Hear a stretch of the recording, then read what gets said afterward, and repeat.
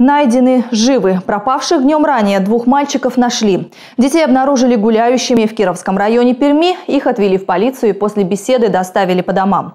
Эфир продолжит патрульная рубрика. Алина Багрянская уже готова рассказать о криминальных событиях этого дня. Алина, приветствую тебе слово.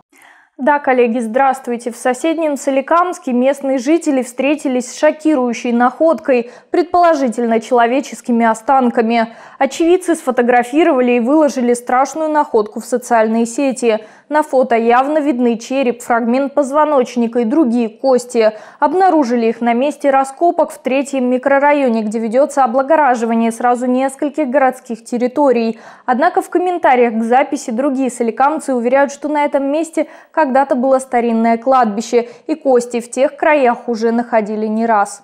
А вот еще один шокирующий поступок. Накануне в Перми молодой человек спрыгнул с коммунального моста.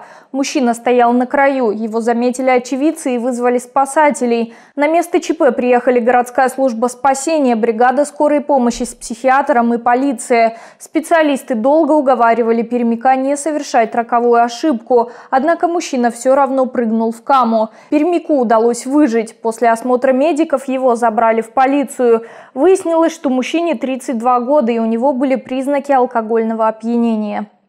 Решил проучить продавца за невнимательность. Тем временем жители Тюмени подозревают в краже кольца. Дело было в Чусовом. Мужчина зашел в ювелирный магазин, продемонстрировал наличные денежные средства, сообщил продавцу, что хочет приобрести золотую мужскую печатку.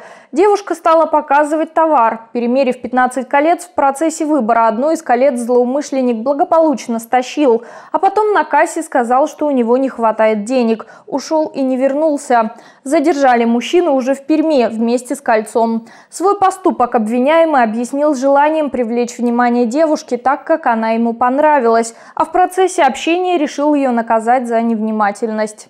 И в завершение Березняковский отдел полиции подвел итоги операции «МАК». Напомню, она проводилась с 11 по 20 июля. За это время сотрудниками полиции было составлено 13 административных протоколов за употребление наркотических средств или психотропных веществ. Возбуждено два уголовных дела за незаконный сбыт наркотических средств. Изъято 162 грамма героина.